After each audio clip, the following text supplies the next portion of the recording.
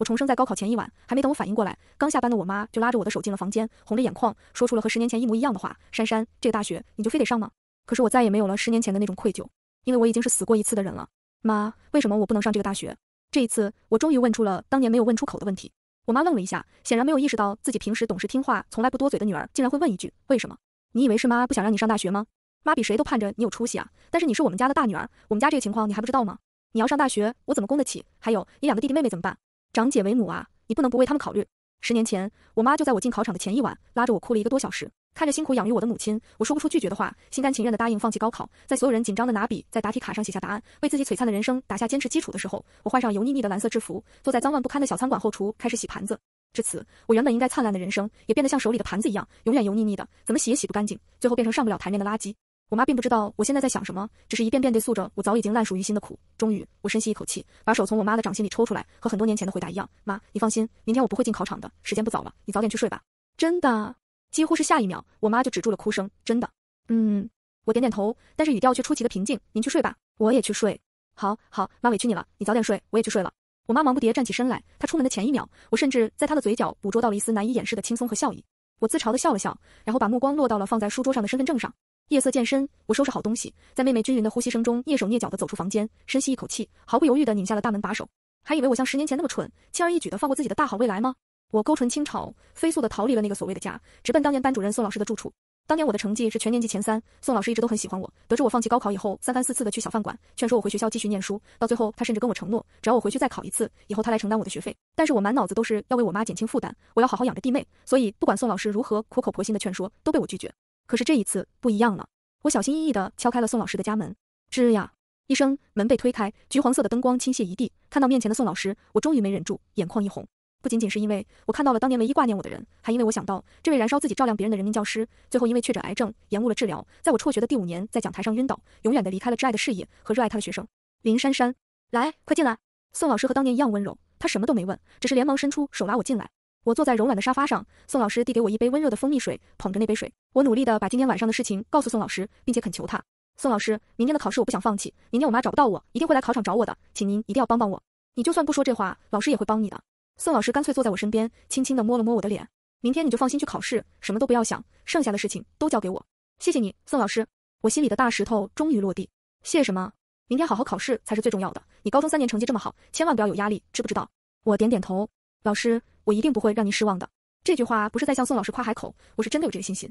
虽然时隔十年，高中的东西我早已经忘得一干二净，但是我是做完了一整套当年高考的试卷，并且整理完才选择自杀的。醒来之后才发现自己竟然重生在了十年前，所以我现在相当于已经提前知道了考题和答案，根本没有考不好的理由。在宋老师家睡了一整晚，第二天一早我就跟着宋老师来到了校门外。果不其然，就在我准备进去的时候，一眼就看到了朝着我冲过来的我妈。珊珊，你昨天晚上是怎么答应我的？你给我过来！人群拥挤，我妈被挤得站不稳脚跟。我看着她急切的面孔，头也不回的大步走进了属于我的考场。两天，整整两天的考试，我一场都没有懈怠。最后一门结束以后，我如释重负，软着腿走出了考场。我终于考完了这场可以决定我人生轨迹的高考。更重要的是，这一次我的人生终于没有被我的家人以所谓的爱的名义而操控。但是走出考场，我知道真正的战争才刚刚开始。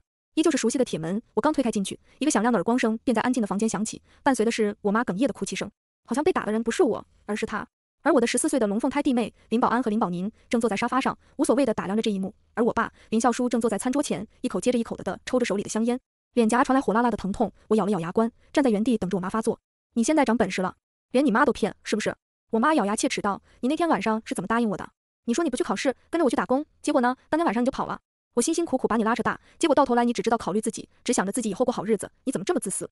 早知道当年你生下来的时候，我就该把你放到尿盆里溺死。我今天也不用这么生气了。”我猛然抬头，紧紧地盯着我妈含泪的眼睛。您不是腻了吗？你说什么？我刚生下来，您不是就让我爸把我溺死在尿盆里了吗？但是我命硬，没死。最后是接生的人跟你说别造孽，你才勉强把我留下来的吗？我的语气带着恨意，以至于我爸妈都同时愣在了原地。没这回事，你听谁说的？当然是你亲口告诉我的。我在心里回答他。某一次大吵中，我妈气疯了，狰狞地说出了当年生我的情形。那时候我的我如遭雷击。任何一个女儿在听到自己亲妈差点把自己溺死的时候，恐怕都是这种五雷轰顶的心情。后来这件事就在我心里扎了一根刺。可是发泄完的我妈似乎是忘了她说过的话，再也没有提起。我听说的重要吗？是你们把我带到这个世界上，把我生下来的，不是我自己要来的。林保安、林保宁的未来是未来，我的未来就一文不值，活该成为牺牲品吗？他们两个是你的孩子，不是我的，凭什么我要为他们的未来负责？你就是这么跟你妈说话的？从小到大，我一直都很听我爸妈的话，才六岁就会端着盆子去河边洗我弟妹的尿布，两只手冻得粗的像紫萝卜，还会端着小板凳在厨房里炒菜做饭。有一次不小心，我从板凳上摔下来，一锅菜全倒在我身上。可是我爸听到声音冲进来，看到这一幕，就对我破口大骂，因为我摔倒的时候不小心打翻了一碗油。我在这个家里十几年如一日的付出，就像是一个不用抽绳子就会自己旋转的陀螺。面对我妈的质问，我一句话都不回答。家长永远是这样，在道理上讲不过子女的时候，就会用道德来绑架。这时候，坐在沙发上的我爸终于站起身来，他大步走到了我的面前，一把揪住了我的衣领：“你长本事了是不是？叫你去你大伯家帮忙你不去，你非得去参加什么高考？你就是这贱命，还敢想着上大学，也不掂量掂量自己几斤几两？别说还不知道你能不能考上这个大学，就是你考上了，老子也不会花一分钱让你去念。从今天起，你就从我们家滚出去！”紧接着，我被重重的摔倒墙上，肩胛骨传来一阵剧痛，我疼得浑身冒冷汗，但是仍旧不肯低头。我一定会上大学的，而且我不会用你们一分钱。你还敢犟嘴？我爸干脆直接解开裤腰带，在皮鞭向我的头顶甩下来的时候，我下意识地护住了脸颊。那时候我的心里只想到一件事：我的脸上可千万不能留疤，要不然的话，我就没办法在暑假出门找工作了。这场毒打，在我爸把自己皮鞭打断的时候，终于宣布了停手。除了小心护着的脸颊，我的胳膊、背部还有肩膀，全部都是皮带打下来的痕迹，红痕遍体，有的地方已经鲜血淋漓。而在我被这么打的时候，我妈只是冷漠地招呼我弟弟妹妹回房间，而她自己则是转身进了厨房。我忍着疼痛，一瘸一拐地回到了房间，还没来得及坐下，就看到弟弟把我书桌上的东西全都扔到了地上。就你还想考大学？也不看看自己配不配，你这样的被打死也活该。就是安安心心去大伯那里打工不就行了吗？非得死乞白赖的去参加高考？你真以为自己当上大学生了就了不起了？妹妹也在一边帮腔。不过刚上初中的年纪，这两个人的脸上已经显出了尖酸刻薄的模样。上一世，他们两个人对我的态度甚至比这更过分。我辍学打工，终于辛辛苦苦供养了他们升了学。只是两个人学习都不好，考了两次才考上了三本院校，一个人一年学费就要四万多，生活费更是一个月两千。我每个月工资刚到账，就立刻给他们转过去，一年到头卡里就只剩下七八十块钱。过年的时候，一家人聚在一起，我一边帮我妈包饺子，一边问弟妹他们在学校里都忙什么。听说他们现在还可以申请出国，我又忍不住，要是出国的话需要啥条件？我知道我这辈子是没机会的，但是还是忍不住向往。但是我弟却只是扫了我一眼，就继续低头看手机。我跟你说我在学校干什么，你听得懂吗？还想着出国？你这辈子不是连省城都没去过吗？坐在一边沙发的妹妹一边剥橘子，一边发出一声嗤笑。不会吧，不会吧，现在还有人没上过大学吧？不会吧，不会吧，不会有人只有高中文凭还想着出国吧？真是笑死了人了，哈哈哈哈哈！何止没上过大学呀，连高考考场都没进过呀！他们两个人笑作一团，而我则是把头低得越来越低，越来越低，恨不得变成一只鸵鸟。我当然了不起，我一步步的走上前，看着他们两个不屑的表情，我一字一句冷静的开口：能上大学就是了不起，我会是这个家里唯一一个上得了大学的人。你们两个杂碎，永远没办法和我比，永远。所有的一切和我预想的一样。高考成绩出来后，我的成绩可以上全国的任何一所大学。而当两个名校的老师几乎同时来找我的时候，我得到了一个可以让我如释重负的好消息。根据我的情况，学校会减免我的一切费用，每年还会给我补助。我最终选择了心仪已久的学校和专业。拿到录取通知书的那一刻，看着上面林珊珊三个字，我第一件事就是冲到宋老师家，深深的给他鞠了一躬。和父母闹掰以后，我这两个月都是借住在宋老师家。如果没有他，我是真正意义上的无家可归。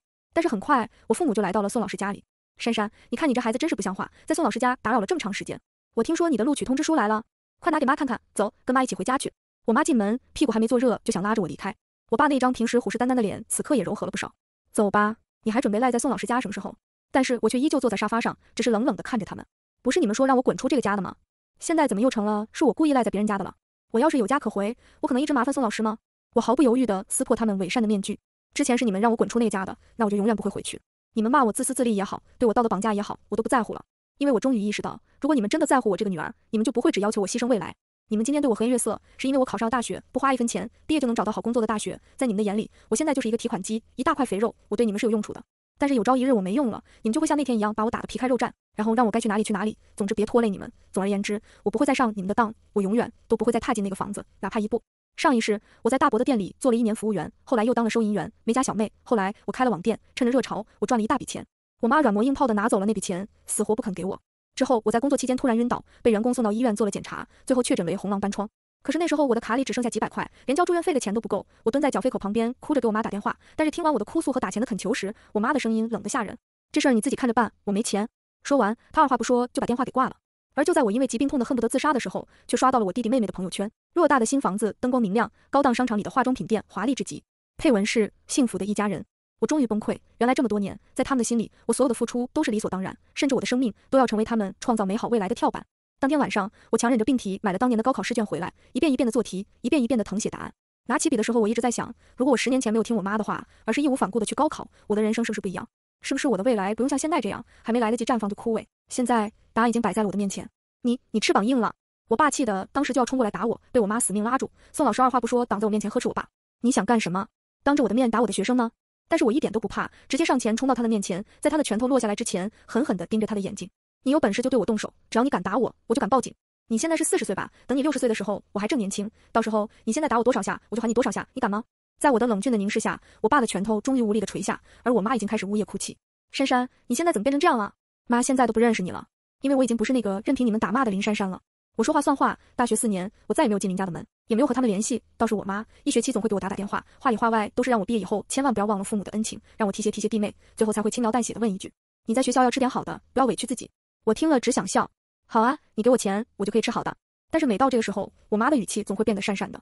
妈知道你不缺钱，别和妈闹别扭了。其实就算是她给我钱，我也不会要的，只不过我懒得听她那些冠冕堂皇、如同作秀一般的关心。时间过得飞快，一眨眼，四年时间就翩然而过。我拿到了保研的资格，可以继续深造。不仅如此，凭借着上一世的记忆，我抓住了好几个别人未曾察觉的风口，在学校大学生创业支持的条件下，开办了属于自己的直播公司。没多久就赚得盆满钵满。赚到第一桶金的第一时间，我就把宋老师接到了我的身边。我买了一个三室一厅的大房子，还专门请了保姆照顾宋老师的起居。宋老师把自己的人生全部奉献给了三尺讲台，无儿无女，而我已经打定主意为他养老。宋老师上一世是因为肺癌没提前发现去世的，这一世我提前带他去医院做检查，总算是没有让病情恶化。而我获得的成绩完全没和我妈他们说半个字。但是世界上毕竟没有不透风的墙，我买房和开公司的事去哪个不知道被谁传出去。某一天我从学校回家，刚出电梯就看到我家大门敞开，顿时觉得奇怪。一进门，我的眉头便狠狠皱了起来。林保安和林宝宁两个人大大咧咧地坐在沙发上看电视，脚底全是果皮纸屑。我爸正坐在椅子上抽烟，我妈面前靠在我爸身边，端端正正地坐着，而宋老师却坐在一张小椅子上，俨然像个外人。谁让你们来的？我气血上冲，连忙把宋老师从椅子上搀扶起来。宋老师，您先回房间休息休息。哟，珊珊回来了，怎么你不让别人跟我说你发了财？你打量我就不知道了。我爸见了我，干脆把香烟往地板上一扔，抬脚碾灭。瞧你这话说的。我妈见我回来，脸上立马堆起了谄媚的笑容。珊珊，快让妈看看你，这几年不见，妈都快想死你了。你现在不是活得好好的？我后退一步，拉开了和我妈之间的距离，避免了她的触碰。珊珊，其实妈和爸带着你弟弟妹妹这次过来，也不是为了别的，一家人血浓于水，打断骨头连着筋的。当年妈不让你去参加高考，是我这个当妈的没当好，没远见。但是你说，天底下哪个当妈的不盼着自己孩子好的？这么多年，看着你越来越有出息，妈心里面不知道有多高兴。妈今天在这里给你道歉，以后我们一家人就好好过日子，以前的事情都不提了，好不好？说着，我妈就把我弟弟妹妹拽起来，让他们给我问好，又说，以后你们就要好好向你大姐学习，给我们老林家争光，知不知道？林保安和林宝宁只是看了我一眼，压根不出声，但是看我的眼神却有着藏不住的艳羡和嫉妒。我冷冷一笑，并不附和，只是道：除了这些，你不打算再跟我说点别的吗？比如说让我做什么事儿，或者让我帮什么忙？一家人也叫帮忙。我爸哼了一声：你现在大房子住着，好日子过着，也该想想家里人。你弟妹两个人不是学习的料子，今年两个人都落榜，连个三本都上不了，补习费又贵得很，你干脆把这钱交了，这也是你当姐的应该做的。还有家里的房子破的没法子住人了，我准备搬进来。买了房子不叫自己爹妈来住，反倒是供着一个外人。你读书都读到狗肚子里去了，还不等我发话，我妈又惨笑着快步走到我面前，急忙道：“你说以后我们家初三的大学生，你说出去也有面子是不是？再一个，你这么多年没回去，不知道我们家里的情况。今年雨水多，我们家那土房子塌了半边，想修又没钱，实在是没办法住人。好在你现在买了新房子，你回来之前我看了，三间房子是够住的。到时候妈给你做饭吃，我们一家人和和睦睦的过日子，多好。好，好在哪里？我冷冷一笑，挑眉反问：你们的算盘是不是打得也太响了？大学四年，你们给我过一分钱吗？”还是来看过我一次，口口声声说着挂念我，恐怕连我长什么样子都忘了吧？这次来，你们真的是来看我的，还是知道我赚了钱，迫不及待的让我履行什么所谓的孝道的？林保安和林宝宁落榜，你们掏钱都愿意让他们复读，我当年成绩那么好，你们却选择让我辍学打工，这公平吗？你们以为现在急急忙忙的在我面前说几句好听的，我就可以傻乎乎的把自己辛辛苦苦赚来的钱双手捧给你们，然后等你们把我身上的钱骗得一二干净，就拿我不当人了？对不起，我真没有你们想的那么贱。现在你们要么自己从我家里走出去，要么我就报警让警察处理。你你你！我妈显然是没料到我这么心狠，就在这时候，我弟弟妹妹冲到我面前，这两个人一听从我这里捞不到好处就急了。你是当姐的，凭什么不管我们？那你去告我呀！我轻蔑一笑，别说我现在赚的不多，就算是有一天我成了亿万富翁，也不会给你们哪怕一分钱。行，你有本事，你有本事，我去法院，我倒要看看法院管不管你这种白眼狼。我爸被我气得直哆嗦，那现在就赶紧去吧，我干脆给他们让出一条路，再不走的话，我就请保安让你们走了。门口已经出现了两个保安，手里正拿着警棍。刚才进门看到他们的时候，我就给物业管家发了消息。见到一米八几的保安，这四个人终于有点怕了。我爸恶狠狠地朝我的地板上吐了一口浓痰，而后不甘心地拉着我妈离开。我弟弟妹妹跟在他们身后，回头看我的眼神就跟看仇人似的。但是我并不介意，比起亲人，我更愿意和他们老死不相往来。他们走后，我叫了专门的家政公司，把家里里里外外打扫了一遍。宋老师从房间走出来，温柔地把我拉到沙发上坐下。珊珊，别难受，上一辈子你经历了那么多事儿，这一辈子就该这样。我活到这个年纪，早都看得清楚了，什么是家人。真的对你好的人才是家人，要是对你不好，就算是亲人，你也不能对他们还掏心掏肺。是的，我把重生的事情告诉了宋老师，让我感动的是，他完全不会对我道德绑架，只是在我需要他的时候，会永远站在我的身边。他才是我真正的家人。后来，我爸真的去法院告了我，说要让我每年给他们一百万当做我成年的抚养费，但是按照法律规定，我每个月只用给他们几百块钱的赡养费，至于我弟弟妹妹，更是用不着我抚养。判决出来的当天，我爸妈气得在法庭上捶胸顿足，我弟妹也满脸菜色，灰头土脸。以后没有我这个摇钱树，他们只会越来越烂，最后变成别人脚边的烂泥。在我上车之前，我妈干脆直接扑通一声跪在我面前和我道歉：“珊珊，珊珊，你是做女儿的，我十月怀胎生下你，一把屎一把尿把你拉着大，你不能这么没良心。你要是不管我们，你弟弟妹妹该怎么办啊？”但是我早已经上了车，关上车门之后，我毫不犹豫的对司机说：“开车。”我坐在副驾驶上，看着后视镜里那个跪在地上嚎啕大哭的女人越来越远。我低下头，拿出了今天刚刚拿到的绿卡，已经拿到了去往澳洲的签证。宋老师也会和我一起过去，在异国他乡，我会继续一边工作一边学习，真正过上属于自己的人生。全文完。